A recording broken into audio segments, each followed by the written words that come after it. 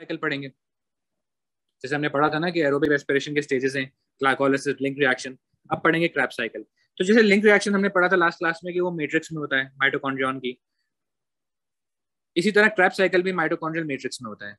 तो अब पढ़ेंगे Krebs cycle which is the next stage of aerobic respiration of glucose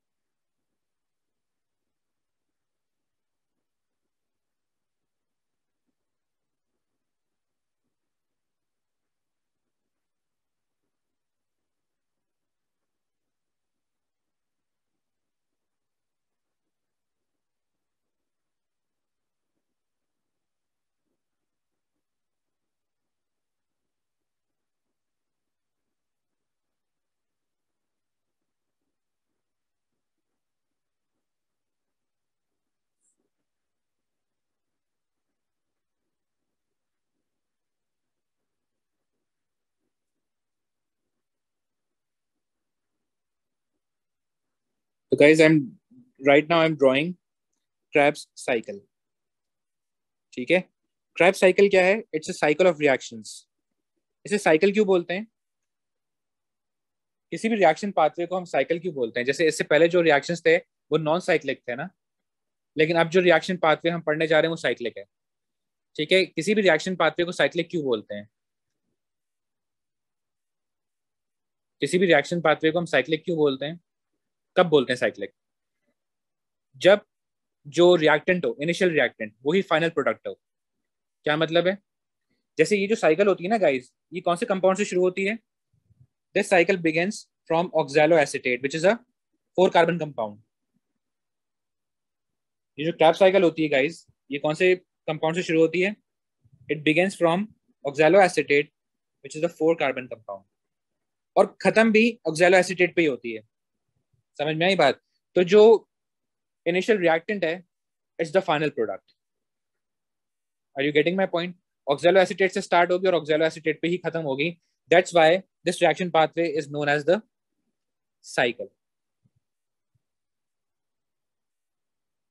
और इस साइकिल को हम क्या बोलते हैं? क्रैब्स साइकिल तो let's see what happens in the Krebs cycle अभी जो एसिटाइल कोएंजाइम में बना था लिंक रिएक्शन में, ये क्या करेगा कि दिस एसिटाइल कोएंजाइम में वी ऑल नो ये जो एसिटाइल कोएंजाइम ए है, इसमें जो एसिटाइल यूनिट है गाइस उसमें कितने कार्बन हैं?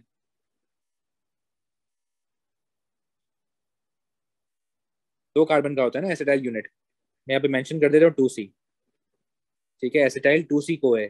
यानी क्या है कि ये जो दो कार्बन का यूनिट है acetyl it's bound to coenzyme A अब क्या होता है कि जो एसिटाइल कोएंजाइम ए है, ये कंबाइन कर जाता है, किससे कंबाइन कर जाएगा? ऑक्सैलो एसिटेट से। और कोएंजाइम ए अलग हो जाएगा। क्या मतलब है?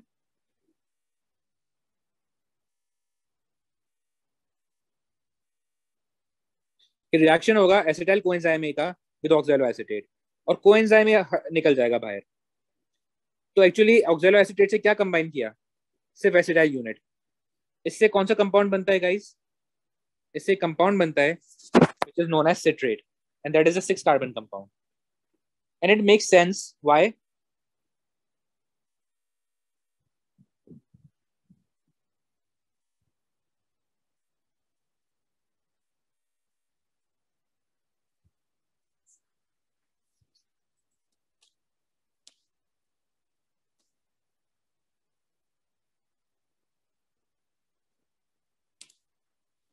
it make sense क्योंकि ऑक्जेलो एसिटेट चार कार्बन का है और एसिटाइल ग्रुप दो कार्बन का है। तो जब एसिटाइल ग्रुप और ऑक्जेलो एसिटेट ज्वाइन होंगे तो जो रिजल्टिंग कंपाउंड होगा वो छह कार्बन का होगा।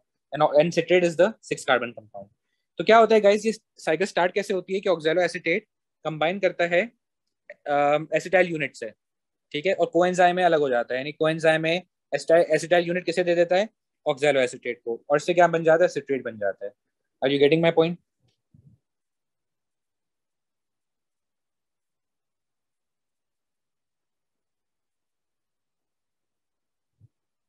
उसके बाद क्या है? इंटरमीडिएट्स हैं।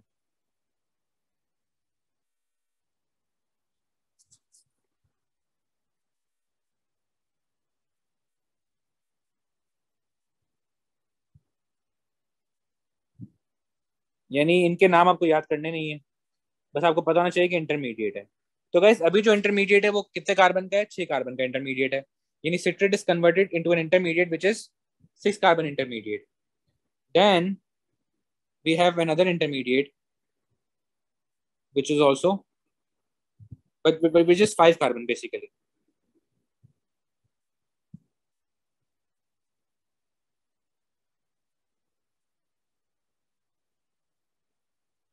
Then we have an intermediate which is six carbon. Sorry uh, not six carbon four carbon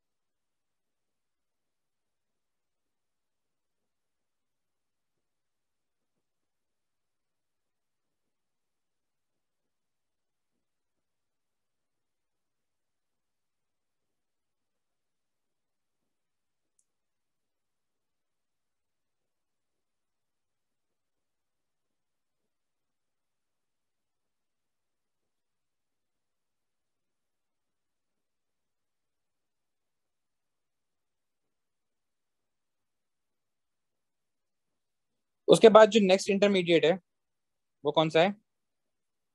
It's also four C intermediate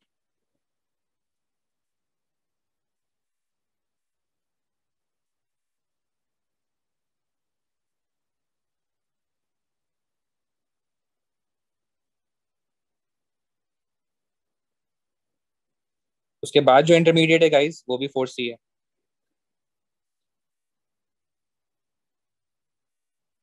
और उसके बाद जो इंटरमीडिएट है, वो भी फोर सी और फिर कौन, फिर क्या आ जाता है? वापस ऑक्सैलो एसिटेट तो गाइज़ यहाँ पे क्या समझ में आ रहा है आपको क्रैप साइकिल में? कि आपको सिर्फ़ ऑक्सैलो एसिटेट और सिट्रेट को याद करना है, बाकी सब इंटरमीडिएट्स हैं। ठीक है? यानी क्रैप साइकिल कहाँ से स्टार्ट होती है? ऑक्सैलो एसिटेट से। Oxaloacetate combines with unit two carbon unit which comes from coenzyme है ना? टू फॉर्म सिट्रेट अब फिर सिट्रेट के साथ हो क्या रहा है ये? मुझे बताओ सिट्रेट के साथ क्या हो रहा है ये? What is happening to the citrate छह कार्बन से वो पाँच कार्बन पे आया, पाँच कार्बन से चार कार्बन पे आया। तो मुझे बताओ ये सिट्रेट का कार्बन कैसे कम हो रहा होगा? जो सिट्रेट है, उसका कार्बन कम हो रहा है कार्बन नंबर कम हो रहा है। तो एक सबस्ट्रेट का अगर हमें कार्बन नंबर कम करना हो तो कैसे करते हैं? By which process yes by which process अगर कार्बन नंबर को रिड्यूस करना हो, ठीक है? जहाँ पे भी तुम लोग देखो कभी भी कार्बन नंबर रिड्यूस हो रहा हो तो वहाँ पे क्या हो रही होगी गाइस डी हो रही होगी, ठीक है ना? Which is the removal of what is the removal of carboxylic acid acid in the form of carbon dioxide समझ में आ रही है बात?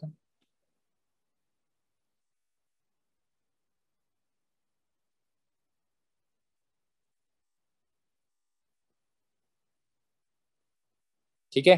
तो जहाँ भी तुम्हें नज़र आ रहा है कि कार्बन नंबर कम हो रहा है।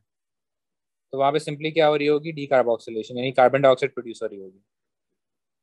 एंड जो कार्बन है it's lost in the form of carbon dioxide this is decarboxylation तो गाइस ये जो दो स्टेप्स है, यहाँ पे डी कार्बोक्सिलेशन हो रही है। अच्छा याद रहे कि जहाँ पे डी कार्बोक्सिलेशन हो रही होती है ना, वहाँ पे डिहाइड्रोजनेशन भी हो रही होती है। ठीक है? ये याद, ये तुम लोग बात याद रखना कि जहाँ पे डीकार्बोक्सिलेशन हो रही होती है, वहाँ पे डिहाइड्रोजनेशन भी हो रही होती है। तो यहाँ से क्या निकल रहा है? टू हाइड्रोजन निकल रहे हैं। And these two hydrogen are picked by what? NAD to form what? Reduce NAD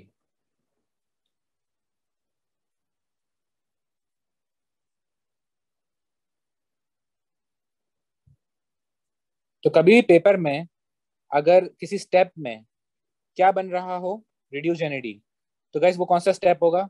dehydrogenation every time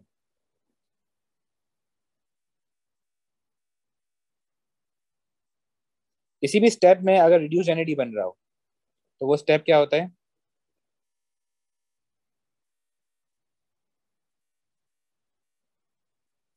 Dehydrogenation. I hope you guys are getting my point.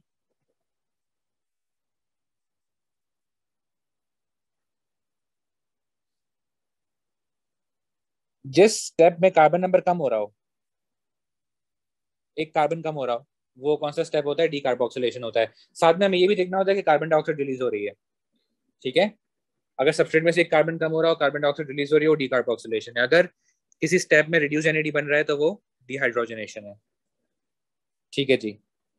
तो यहाँ पे कार्बन डाइऑक्साइड रिलीज़ हो रही है, वो हमें कैसे पता चल रहा है भाई? कार्बन कार्बन नंबर भी कम हो रहा है तो डी कार्बोक्सिलेशन है। साथ में गाइज़ यहाँ पे इस स्टेप में भी डिहाइड्रोजनेशन होती है। और जब डिहाइड्रोजनेशन होगी तो क्या होगा? हाइड्रोजन निकलेंगे। And these hydrogen are picked up by what picked up by N E two form reduce N E सही है जी?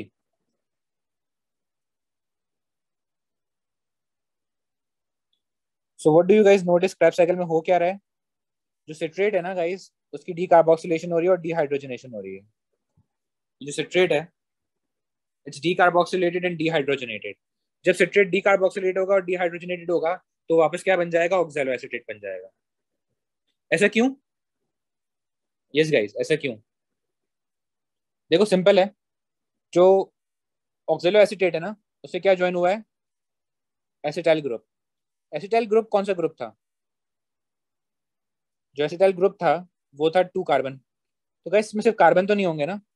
इसमें क्या होगा? हाइड्रोजन भी होंगे। ऐसा ही है? तो अगर आप ऑक्सैलो एसिटेट में एसिटाइल ऐड करो, और फिर आप क्या करो? डी कार्बोक्सिलेशन कर दो। कितनी दफ़ा? दो दफ़ा। तो ये दोनों कार्बन जो एसिटाइल यूनिट के थे, वो गए। साथ में आप डिहाइड्रोजनेशन कर दो दो से तीन दफ़ा तो हाइड्रोजन भी चले जाएँगे। और जब हाइड्रोजन चले जाएँगे तो क्या बन जाएगा? वापस से oxaloacetate are you getting my point ये समझ में आ रहा है तुम लोगों को? कि जैसे सिट्रेट ऑक्सैलो एसिटेट सिट्रेट कब बनता है? जब ऑक्सैलो एसिटेट में एसिटाइल ग्रुप ऐड हो जाए तो वो सिट्रेट बन जाएगा। अगर सिट्रेट को वापस से ऑक्सैलो एसिटेट बनाना है तो क्या करना पड़ेगा? You have to get you have to get rid of this acetyl लेकिन एसिटाइल से हम ऐसे गेट रिड नहीं करते। मतलब we don't get rid of acetyl just like that ऐसा नहीं होगा कि भाई सिट्रेट एसिटाइल ग्रुप लूज करके वापस से ऑक्सैलो एसिटेट बन जाए। ऐसे नहीं करता। क्या होता है कि सिट्रेट वापस ऑक्सैलो एसिटेट बनेगा, लेकिन इस प्रोसेस में क्या हो रहा होगा कि जो सिट्रेट में जो एसिटाइल ग्रुप था, वो ब्रेक डाउन हो जाएगा। कैसे? De decarboxylation and dehydrogenation are you getting my point समझ में आ रहा है ये या नहीं आ रहा? यानी Krebs cycle basically Krebs cycle का काम क्या है? एसिटाइल ग्रुप को फर्दर ब्रेक डाउन करना। और कैसे ब्रेक डाउन करती है एसिटाइल ग्रुप को? क्रैप साइकिल ऑक्सैलो एसिटेट से कंबाइन करवाती है सिट्रेट बनाती है और फिर सिट्रेट को डी कार्बोक्सिलेट कराती है डिहाइड्रोजनेटेड कराती है ताकि एसिटाइल ग्रुप ब्रेक डाउन हो जाए और वापस से ऑक्सैलो एसिटेट आ जाए। समझ में आ रहा है तुम लोगों को कॉन्सेप्ट तुम सबको? ये बहुत डीप बात है। ये समझ में आ रही है?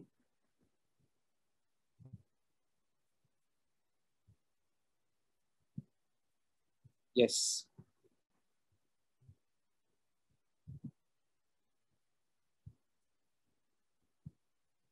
क्योंकि हमें पता है क्रैप साइकिल का जो स्टार्टिंग रिएक्टेंट है वो ऑक्जेलो एसिटेट यानी क्रैप साइकिल में ऑक्जेलो एसिटेट पहले से मौजूद है। हमने क्रैप साइकिल में सिर्फ़ क्या इनपुट किया है? एसिटल ग्रुप का। और क्रैप साइकिल के एंड में हमें ऑक्जेलो एसिटेट मिल रहा है। इसका मतलब एसिटाइल ग्रुप जो है हमारा क्रैप साइकिल में गया और ब्रेक डाउन हो गया। किस पे ब्रेक डाउन हो गया? कार्बन डाइऑक्साइड पे ब्रेक डाउन हो गया। और हाइड्रोजन में ब्रेक डाउन हो गया which are picked up by NAD to form reduce NAD अब देखो, यहाँ पे फोर्स इंटरमीडिएट यहाँ पे भी फोर्स इंटरमीडिएट है। अब कहीं बीच बीच में भी कुछ बन रहा होता है। वो कहाँ कहाँ पे बन रहा होता है, वो आपको याद करना होगा। यानी आपको इस तरह याद रखना है कितने फोर सी इंटरमीडिएट है, कितने फाइव सी इंटरमीडिएट्स हैं, कितने सिक्स सी इंटरमीडिएट्स हैं। आपको क्या याद रखना होता है? आपको याद रखना होता है ऑक्जेलो के बारे में सिट्रेट के बारे में। और बाकी आपको इंटरमीडिएट्स याद करना है, यानी सिर्फ़ उनका कार्बन नंबर नाम याद नहीं करना। ठीक है? तो मुझे बताओ, यहाँ पे जैसे अब फाइव सी से फोर सी हुआ ना अब जब ये four C first four C से सेकंड फोर सी पे आ रहा है तो यहाँ पे एक और फर्दर कन्वर्जन हो रही है। यहाँ पे एक एटीपी बन रहा है।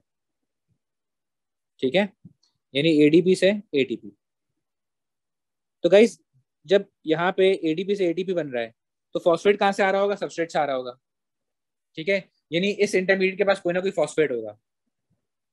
ये जो इंटरमीडिएट फोर सी है और ये जो इंटरमीडिएट है, इन दोनों में फ़र्क क्या होगा कि इस वाले इंटरमीडिएट के पास फोर वो होगा फॉस्फेट और फॉस्फेट किसे प्रोवाइड कर देगा? वो एडीपी को और साथ में थोड़ी बहुत एनर्जी भी प्रोवाइड कर देगा, जिससे एटीपी बन जाएगा। तो ये कौन सी फॉस्फोरिलेशन होगी? सबस्ट्रेट लेवल फॉस्फोरिलेशन होगी है क्योंकि फॉस्फेट और एनर्जी कहाँ से आ रही होगी? सबस्ट्रेट से आ रही होगी। तो ये सबस्ट्रेट लेवल फॉस्फोरिलेशन होती है। फिर क्या होता है?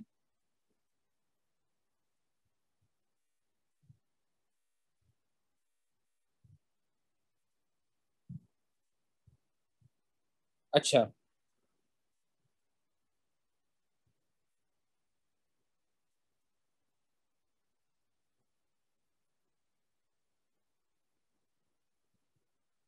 आगे फर्दर प्रोडक्ट्स बनेंगे, वो कौन कौन से बनेंगे लिस्ट डाउन कर लेते हैं। अच्छा ये जो इंटरमीडिएट है फोर सी और ये फोर सी जब इस वाले इंटरमीडिएट की कन्वर्जन इस वाले इंटरमीडिएट पे होती है तो कार्बन नंबर तो चेंज नहीं हो रहा, लेकिन there is loss of hydrogen अच्छा बात सारी ये है गाइस कि ये जो हाइड्रोजन लूज हो रहे हैं यहाँ पे there actually low energy hydrogen जो बाकी हाइड्रोजन रिलीज़ हो रहे हैं, वो हाई एनर्जी हाइड्रोजन है। यहाँ पे जो हाइड्रोजन रिलीज़ हो रहे हैं they are low energy hydrogen ठीक है ना? यानी हाइड्रोजन के पास एनर्जी कम है। तो जो लो एनर्जी हाइड्रोजन होते हैं they are picked up by another hydrogen carrier, not NAD they are picked up by another hydrogen carrier, which is known as FAD ठीक है? तो NAD की तरह एक और हाइड्रोजन कैरियर होता है, जिसे हम बोलते हैं FAD तो NAD और FAD में फ़र्क क्या है? स्ट्रक्चर का फ़र्क है। सही है जी? और किसका फ़र्क है? FAD जो है picks up low energy hydrogen जबकि NAD picks up high energy hydrogen तो यहाँ पे हाइड्रोजन क्योंकि लो एनर्जी होते हैं तो they are picked up by FAD to form reduce FAD सही है? अब इस वाले इंटरमीडिएट और इस वाले इंटरमीडिएट में जब चेंज आता है, यानी during this change there is no product form यानी यहाँ पे तो हम देख रहे थे ना कि इस वाले इंटरमीडिएट से इस वाले इंटरमीडिएट में चेंज आ रहा है तो डिहाइड्रोजनेशन हो रही है। यहाँ पे कुछ भी नहीं हो रहा होगा। अब जब ये वाला इंटरमीडिएट ऑक्सोलोएसिटेट में कन्वर्ट हो रहा होगा तो फिर से डिहाइड्रोजनेशन होगी। And this hydrogen that are released are now high energy hydrogen so they are picked up by NAD ठीक है to form what reduced NAD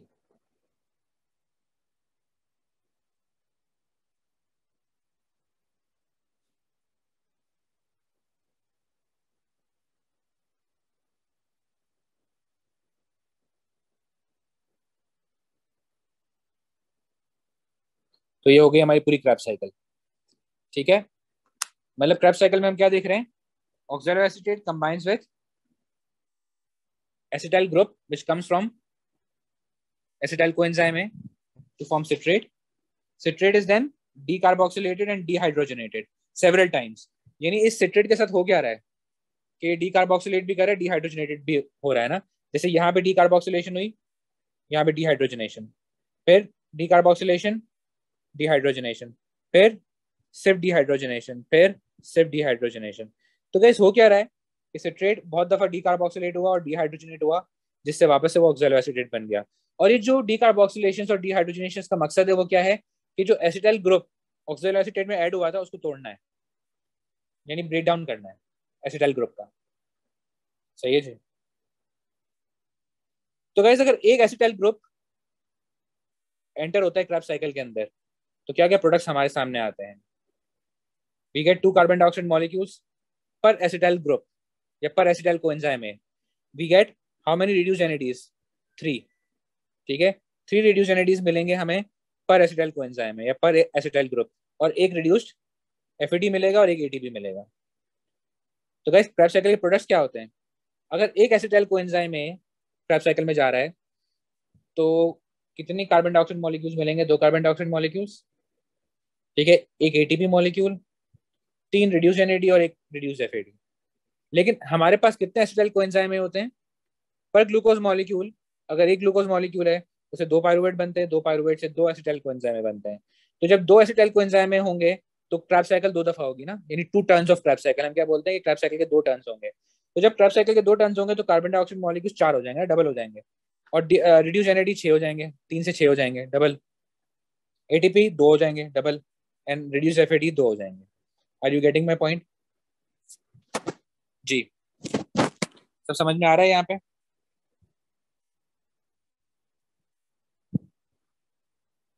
okay yes okay तो क्या लिखेंगे क्रैप साइकिल में? क्रैप साइकिल को describe कैसे करते हैं? लेट्स डिस्क्राइब क्रैप साइकिल एक मिनट रुकना।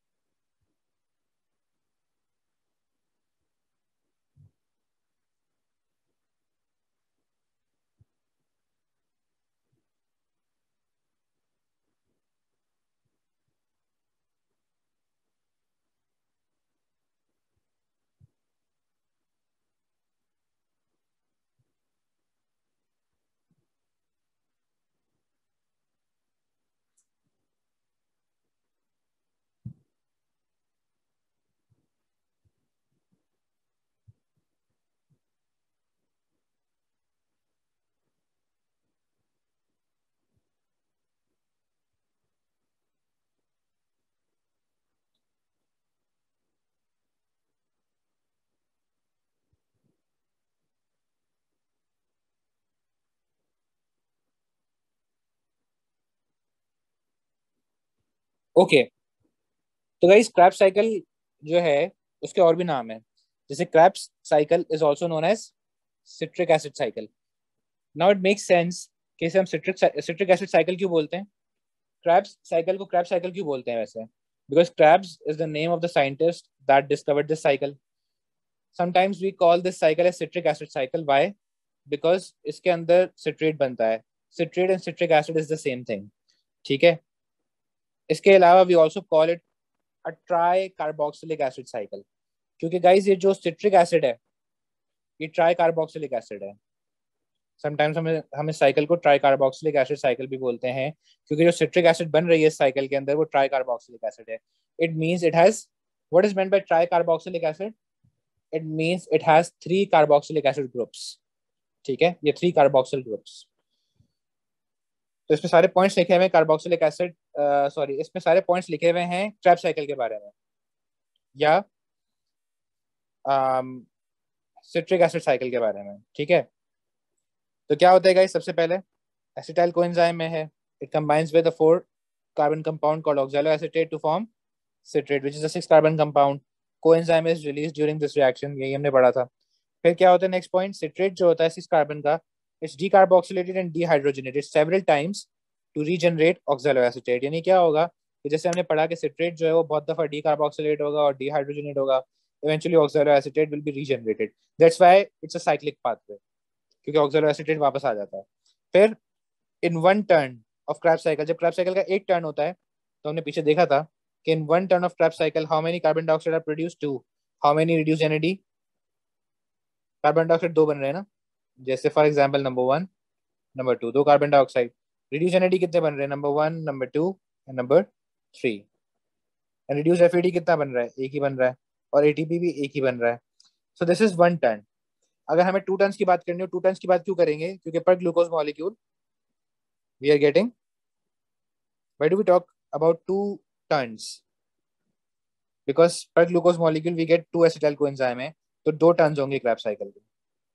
तो एक ग्लूकोज मॉलिक्यूल पे हमें दो टर्न लेंगे हम क्रैप साइकिल को। तो in one turn of Krebs cycle